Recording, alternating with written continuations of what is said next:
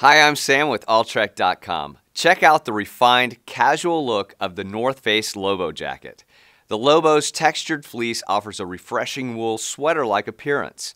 It still offers all of the performance and technical properties of traditional outdoor fleece, but now it comes in a refined style that opens up the casual wear opportunities. The defining component of this jacket is the 100% polyester horizontal stripe fleece.